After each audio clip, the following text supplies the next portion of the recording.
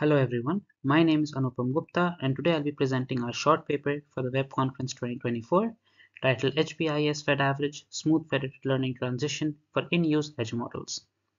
This paper was written at the Indian Institute of Technology, Kharagpur by Professor Pabitra Mitra, Professor Sudip Misra and myself.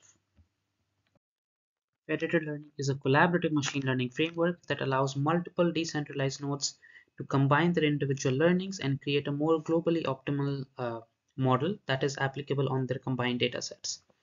The way that it does this ensures that we have low communication cost, robustness to participating nodes is a lot more scalable, it's also more robust to data heterogeneity in local nodes, and most importantly, it is privacy preserving. That is, no data that is present in the local nodes ever leads, leaves those nodes during the training phase. A common research gap that we have found is that most federated learning protocols assume that all of the training both at the local and the global level starts when the collaborative learning starts. However, how do we deal with the case where there is already some local training that has uh, happened at a local level and the models are used in application specific scenarios?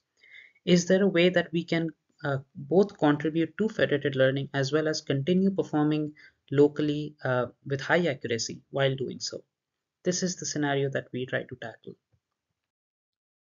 In this paper, we present heuristic-based initialization adoption strategy as a solution to performing both of these tasks simultaneously using a single model and a single process.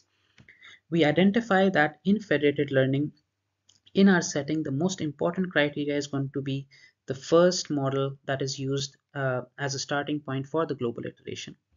We identify that instead of generating a model and starting with that, it would be better if we selected one of the local models.